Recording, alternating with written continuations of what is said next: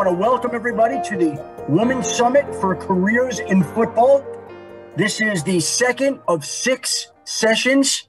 Tonight's session, which will feature the Buccaneers general manager, Jason Licht, their vice president of football administration, Mike Greenberg, and their director of football research, Jackie Davidson, will be about the team behind the team, how to build a championship NFL roster. And everybody in attendance tonight is in for a treat because tonight's episode is going to be a great one with great guests and great information and insights. And then coming up in the weeks down the line and the sessions down the line, there'll be one on scouting, one on player engagement, one on building a brand, and one on training. So everybody here is incredibly blessed and fortunate to be a part of such significant programs that the Tampa Bay Buccaneers are running. I salute them and I am happy and honored to be a part of this one. And with that, we will start tonight's program with the general manager, Jason Licht. And Jason, I will ask you the Buccaneers Women's Summit has not only increased the exposure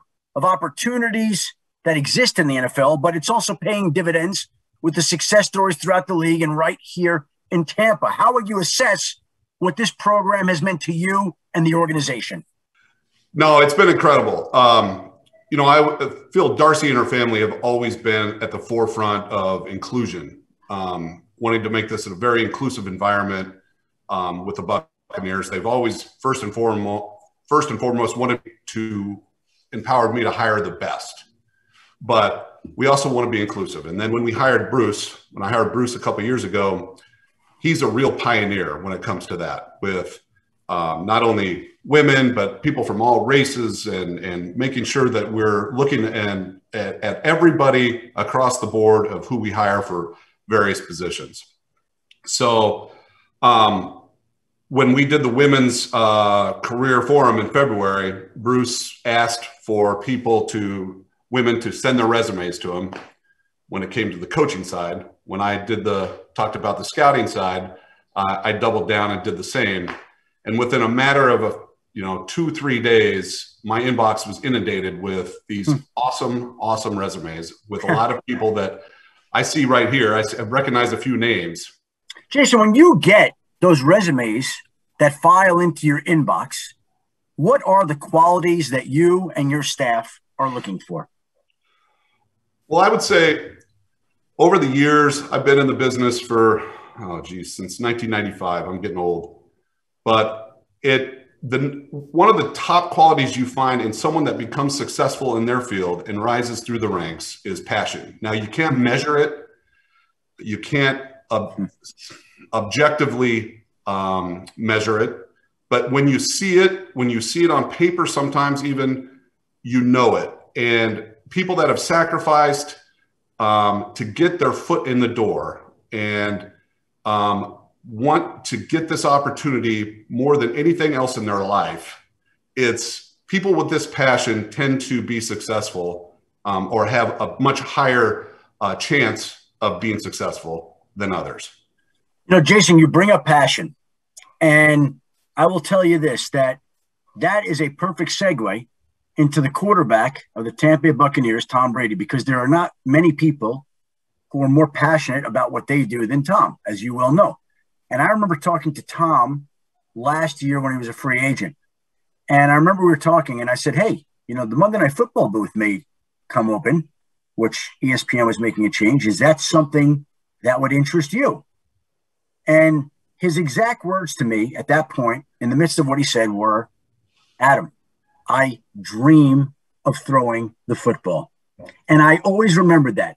And I thought to myself, wow, I dream about a lot of different things but I don't dream of throwing the football the way that Tom Brady does. And I would guarantee you that on the 40 plus people on this call, many of you have dreams of doing what people like Jason or Mike or Jackie are doing today. You have dreams of being on a football team and in an organization like you do.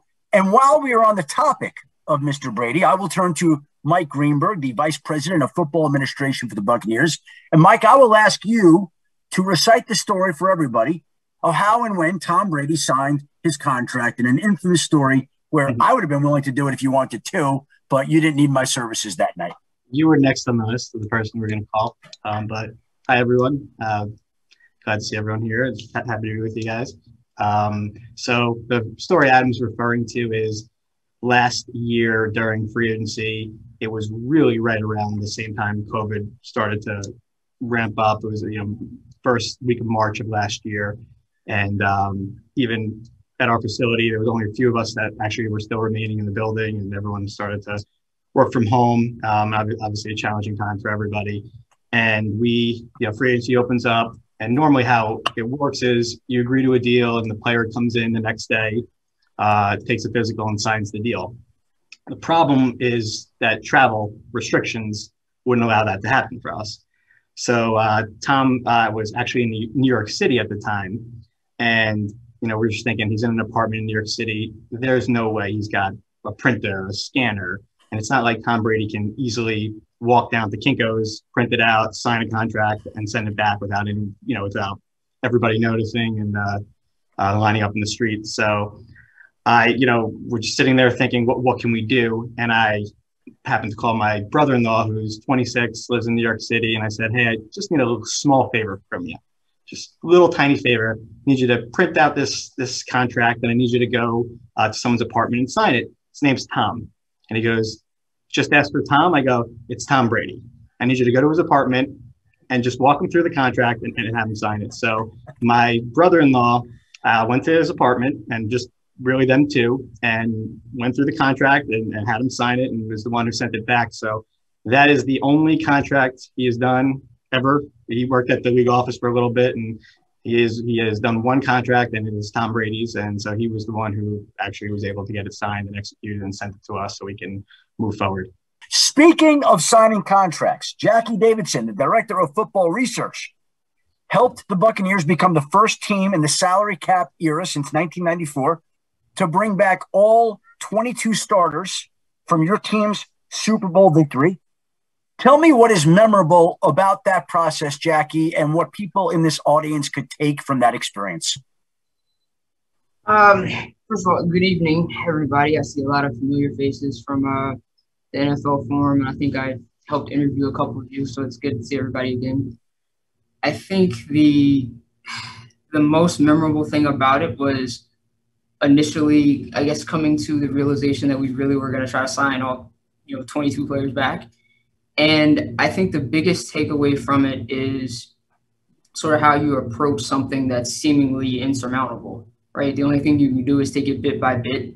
Like if we, I think if we had the mindset, if, if me and Mike and, and Jason had the mindset of going in and signing all 22 at once or, you know, trying to do it all at the same time, we probably would have gone a little crazy. I think Mike and I almost did a couple days. But when you go in and try to do it and say, okay, look, today we're going to try to get this accomplished. The next day we're going to hit you know these players and you, you attack a problem piece by piece a little bit at a time it becomes a little bit more more manageable for you. But the I think the scariest part and the most memorable part was was figuring out oh no we're really like they're really serious. Like we're really going to try to sign all these players back. Jason I want to go back to you being on the road to becoming a general manager I want to ask you to look back and tell me when there might have been a turning point in your career that put you on the trajectory to hold the job and position that you do today? Well, you know, I think about this often. I talk about this with my wife, Blair, often. Um, I've been worked for six different teams. I think it's six. I'd have to go back and look, but um, kind of moved around the country a lot, uh, moving up um, getting promotions or moving out to get a take a promotion, whatever, throughout my journey to to want to become a GM. And now I have my um, the greatest job in the world, working for the Tampa Bay Bucs, and we won the Super Bowl. So, um, but there was a point when I wasn't. We talked about patience before, when I wasn't so patient, and that's why I I brought that up. Um. You know, you're you're thinking you're you're young, you're moving up, you're getting a lot of praise. Uh, you're in a good position and you're in an organization where you think you have a chance to continue to rise. And that was when I was with the Philadelphia Eagles. Um, that kind of attitude I had made me um, be a little bit not I will say jealous, but I was always I was looking at the wrong things. I was looking at people and other teams getting promoted, uh, getting GM jobs. I was getting upset that why not Mike? Why isn't it me? and eventually, it led to I, I got fired. And when I got fired, I got humbled, and I got humbled, and I took a job with the Arizona Cardinals. And from that moment forward, I was a different person. It was don't worry about what the future is. Worry about what you're doing now and and do it do it at your best, do it at, to your best ability and do your job and be a teammate with the people working around you. And when you win, everybody wins. You know, it's interesting you say that. I'm just thinking, and I know that I'm I'm not including the panel, but I would hope I could weigh in with some insights of my own here. And you spend so much time when you're younger worrying about getting to that next station in life and how to get there.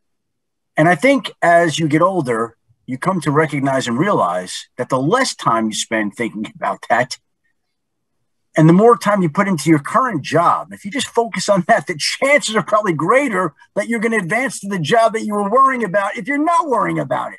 Just do your job every day, right? Concentrate on that, and everything works out. Enjoy it along the way. Mike, how about you? When you look back to getting into the position you're in today, what's a piece of advice that you could offer to this audience that would benefit them about how you were able to climb into the position you're in today? I think, you know, use all the resources that you have. Um, I was able to get to the Jets.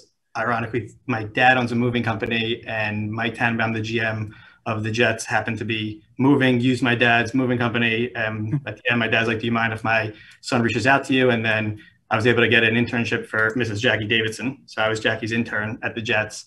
And I think really once you everyone kind of has a story like that. They had a connection, they had they met someone, they were able to get their foot in the door. But then once your foot's in the door, then it's on you.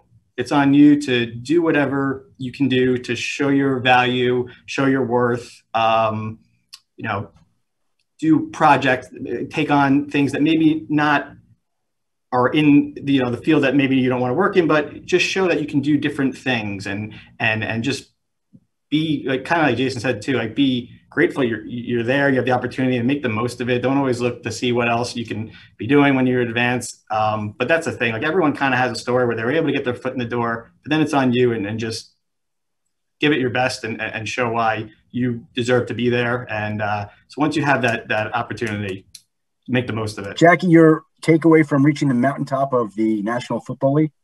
It was one of the things going back to what Mike said. You know, we've known each other for over a decade now, and you know, I I talked to him after some of those hard losses, even before I worked here in some of those years. So knowing the amount of work that you know I put in, even long before I was here, and sort of what you know was accomplished, it was a very overwhelming feeling when you really thought about what had just happened. This is what this is the thing we all work for, right? Every every team goes into the year, and this is what this is what you're doing.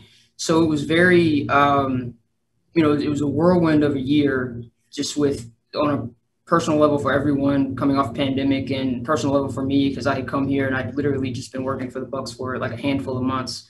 Um, so getting to that point, it was it was very emotional, and then going to what going to what Jason said, you had to remember to kind of stop and enjoy it it's like he was talking about. I'm at the boat parade, and I'm like, we got to resign that guy. We got to resign that guy. We got to, and it's like you can't even enjoy the moment. So you have to remember to to do that. But what is what's been great about it is our entire sort of last couple of months have been like peppered with with something having to do with the Super Bowl. So you've been able to kind of drag it out a little bit.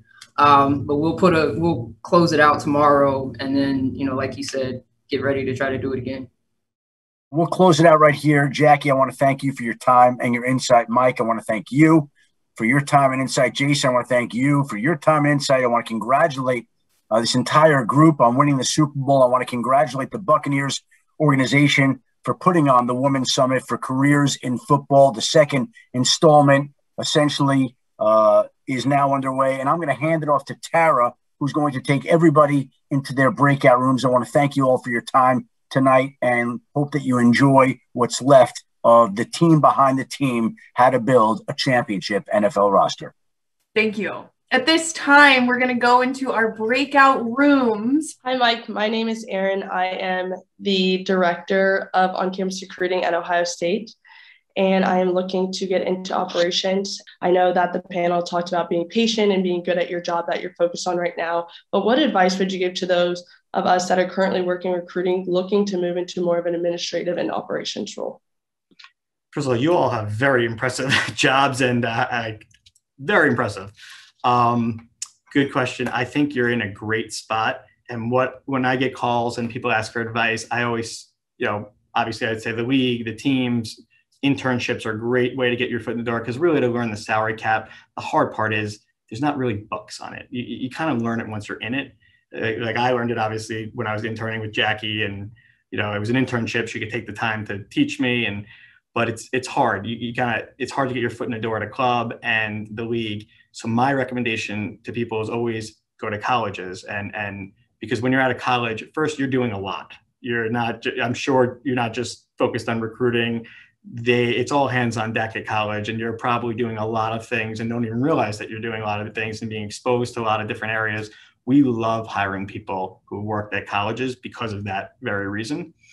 Um, and then you're also probably getting exposed to a lot of scouts that come in or general managers that come in or even coaches that are there that are going to go to other places. So you're building a network and probably not realizing that you're building a network yet. But the first place we, when we hire, we start with scouting assistants, and the first place we go to is we go to our road scouts and we said, Have you come across anyone at a college that you're impressed with? And that's really where we've hired most of the scouting assistants from. Hi, my name is Kelly Masker, and I'm currently the director of football recruiting at Abilene Christian. Um, so I know that in the first panel you did mention about qualities you are looking for in a candidate, but to extend on that with the mantra of the Bucs being one team, one cause, how do you make sure that that reflects in the candidate that you're looking to hire? That's a great question, and it's one that you can't. Uh, just like I talked about passion, you can't um, objectively measure. It's from having conversations and also conversations with people that you worked with and you worked for. Um, we try to vet, do the best job at vetting the uh, the candidate, but it's also I think everybody deserves an opportunity. And when you get when you're hired, if you're qualified and we feel you're very intelligent and you have a, a, a great upside, I think when you have an environment that we finally have built here um, in the last, you know, seven years that I've been here, because um, I have some great people that I'm working with that do a phenomenal job, and I owe them all the credit in the world for where we're at right now. But the atmosphere that we have, it's hard for you not to join in forces with it. You have to have a great, just like a team has to have a great culture in the locker room, which we have the best that I've ever been around.